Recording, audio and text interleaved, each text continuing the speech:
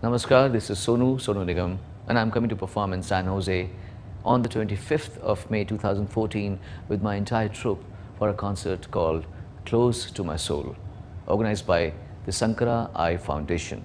Come and join me in San Jose.